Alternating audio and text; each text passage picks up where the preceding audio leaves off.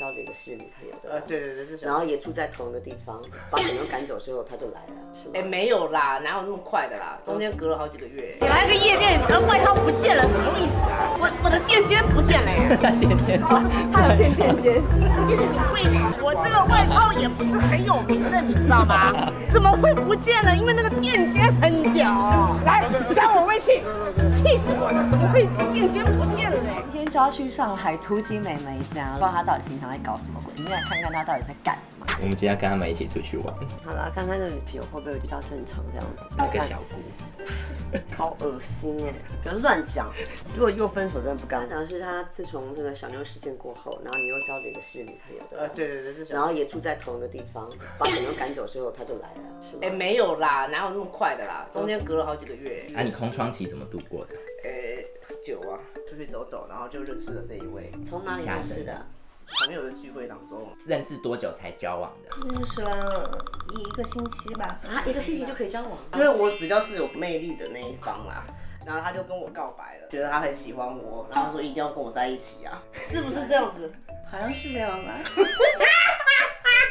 你花钱请了演员的人？怎么可能？收据在哪里？不能这样。你坦白，我们给你捧哏。没有了。跟他去完夜总会，然后我们带他来夜店，然后两个男模被赶走了，因为 Peter 不给他们手吧。他呢，因为不懂这边夜店的规矩，所以刚刚迷路了，然后来了之后呢，又跑到前台被别人赶出来。我什么时候跑到前面赶出来啦？我们现在带你走吧。无语。我会跟大家说，什么手环啦？戴上以后你就可以在这里飞起来了。可以飞起来。戴上以后就可以飞飞去哪啊？你有来过这里吗？没有了。哎，这人那么多，搞什么鬼啊？我们怎么玩啊？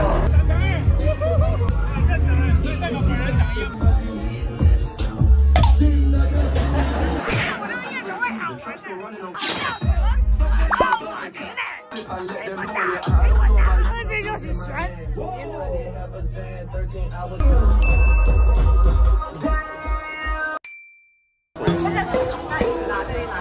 你这件拿下来。我这件没人。哎哎哎，来个夜店，然后外套不见了，什么意思啊？我我的垫肩不见了耶！垫肩，他有垫垫肩。电肩贵对，是外套不不不值钱，垫肩值钱。垫肩很值钱的。搞什么鬼？那我的垫都不见了，搞什么鬼？他们都要抢我垫肩的外套哎！快死！我现在有病好吗？你知道我是个病人吗？我很严重的病，你还要等他哦？我真想直接走。不是，我这个外套也不是很有名的，你知道吗？怎么会不见了？因为那个垫肩很屌。来加我微信，气死我了！怎么会垫肩不见了呢？